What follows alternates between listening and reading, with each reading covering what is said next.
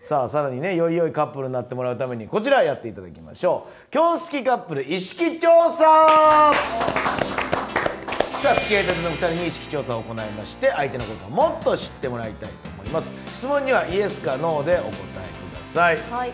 はいじゃあ彼はい。から、じゃあまず最初に相手の意外な一面を発見した？せーの。ほら。おお二人とも二人とも。どういったところ？でなんかめっちゃなんかみんなといる時はツンツンしてるんですけど、二人の時はなんかあ二人っていうか LINE とかでやり取りしてる時とかはずっとなんかヤマトが「ねえかまってよ」みたいな「かま ってよ」みたいな感じ？です。意外な一面、かまってよっていう言葉ではないけどそんな風に言うてくんねや。かまちょです。かまちょ。多分そうじゃないですかいやそれはだってな、ヤマトもいいろんなことがあってこの愛さと付き合うって決めたからにやっぱ好きやしさ、そうですね。うん、それは相手してあげてよ。はい。ほらそれは可愛いやろ？そうです、ね。大和くんはどんなところにギャップを感じてる？えー、思ったよりめっちゃカマチョですね。お互いに？めっちゃカマチョですね。あいさ？そ？う。やばいっす。どんなところが、なんか LINE だったら「ヤマトヤマト」ずっと。おい合い。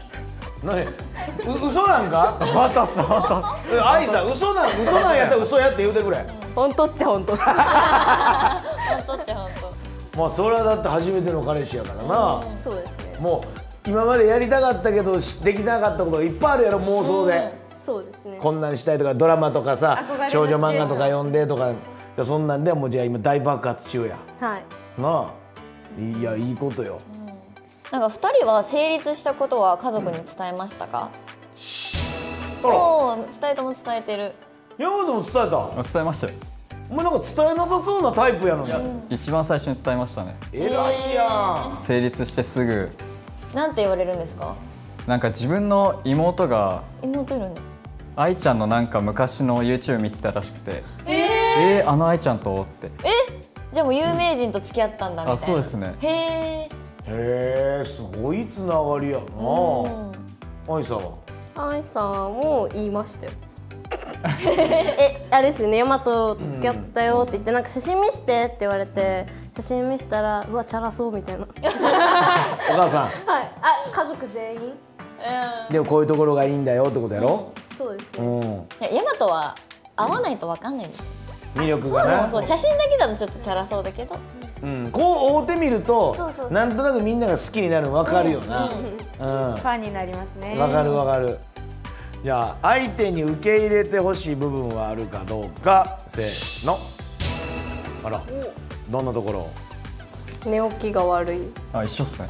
あ、え、本当に？一緒。あの目覚ましとかそういうのでも起きれないんですよ自分。ほうで起こされた時めっちゃ機嫌悪いです最悪や朝がね全く同じ。んえ？え、なんか、アイさん、もう、なんか寝起きって意識なくて、なんかどんだけトントントンってやられても。みたいな感じだから、うんめっちゃ寝起き悪いんですよ。機嫌悪くて。うんだから寝起きはあの自分で起きるまでほっといてほしい。でも井上さんモーニングアイサは口が悪いって言ってましたよね、うん朝の挨拶口悪い。機朝ちょ嫌悪いからっとムカムやカしてて。よくそんな二人が朝デートでプール入ってましたね。確かに。でもお互い朝が苦手っていうのが分かってたらすごいちょうどいいタイミングで目覚めのタイミングが一緒になって良さそうですね。確かに。確かに。でももうだから目覚ましなんかかけたないってことやろ？そうですね。目覚ましかけて起きるのが嫌いっすねいやどうすんねん。じゃあ学校とかさ、まあ今な夜間とかもあれもあるけど、じゃあ絶対に朝この7時とか8時にから朝からじゃあデート行こうとかもあるやん。まあそ一貫ないですかね。違うちゃうわな。じゃあユニバ行こうってなるとするわな。で大阪行くにもやっぱ2時間半かかるやろ、はい。ほんならやっぱもし例えば9時にユニバーサルに着きたかったら始発に乗らなあかんわけやんか、どっちをとんねん寝るか遊びか。それは嫌いで起きれる。うん気合で起きます。起きれますか 起きれる？心配ですね。どうあのいざとなったら井上さんが起こしに行くから。あ本当ですか？機嫌悪いんやろ二人とも。嫌やわそんな。んキレられるやん。さあこれでねちょっとねおお二方お互いのことが分かったんじゃないでしょうか。はい。井上さん聞いてください。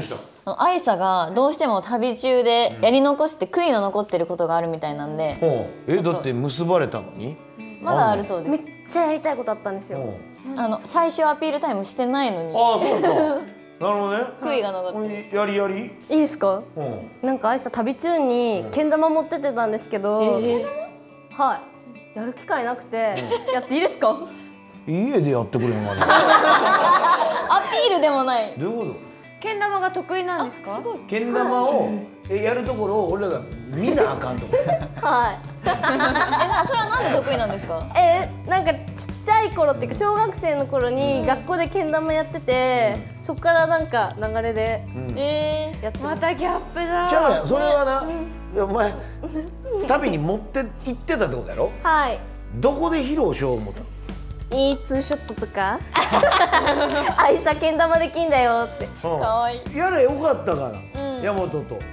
なんかできる雰囲気じゃなかった。いやいやめちゃくちゃあったらそんな雰囲気。こいつバクバク飯食うてる時あってるからさ。それ俺けん玉入れられよかったやん。確かに、まあまあではやりたいんやったらええよじゃあ、はい、やっていいですか？ええほなけん玉披露するだけでええの？あじゃあちょっとアイサが告白とか全部言ったのでちょっとヤマトになんかなんだろうキュンキュンしてもらってやってもらいたいです。